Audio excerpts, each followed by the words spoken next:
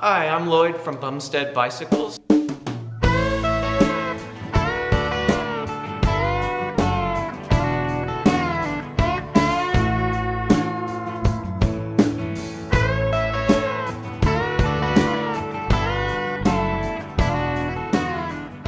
want to show you one of Trek's new 2012 bikes.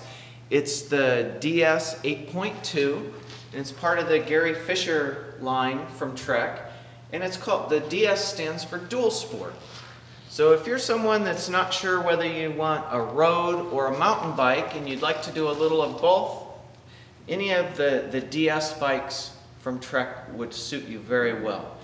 It's lightweight aluminum frame, 700C wheels, but it's modeled after the, the Gary Fisher 29er mountain bikes so that you can add a wider, more aggressive mountain bike tire if you want to go off-road or keep a narrower road tire if you want to ride on the street.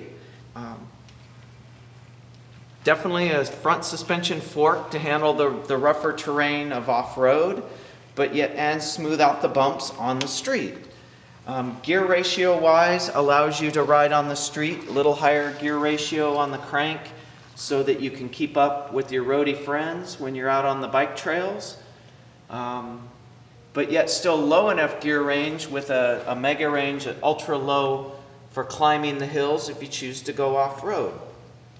Bike also then has rack mounts and fender mounts for the so rack if you want to commute back and forth to work, fenders for the, the bad weather times.